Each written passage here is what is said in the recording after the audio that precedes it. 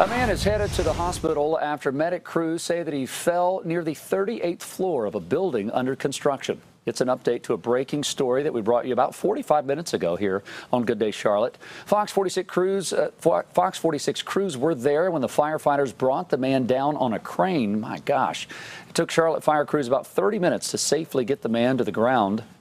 This all happened on South Tryon and West Stonewall Streets in Uptown. Authorities say the man was hurt, but his injuries aren't life threatening.